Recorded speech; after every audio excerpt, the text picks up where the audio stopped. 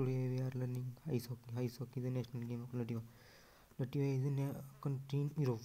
Ice hockey is played on the ice between the two teams. The player uh, player between ice wear ice skates on their feet and can skate across the ice at very high speed.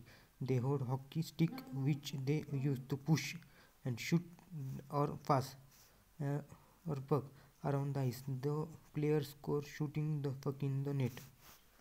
Six players on each net and each in but the whole team has 20 players. Each team has two defenders, three forward and a goalie on the ice skate.